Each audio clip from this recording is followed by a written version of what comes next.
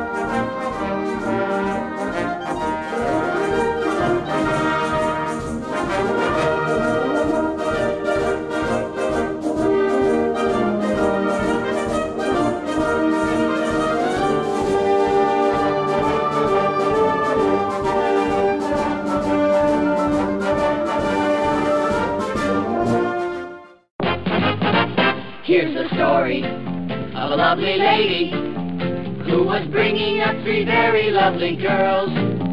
All of them had hair of gold, like their mother, the youngest one in curls. It's the story of a man named Brady who was busy with three boys of his own. They were four men living all together, yet they were all this fellow, and they knew that it was much more than a hunch. That this group must somehow form a family. That's the way we all became the Brady Bunch. The Brady Bunch. The Brady Bunch.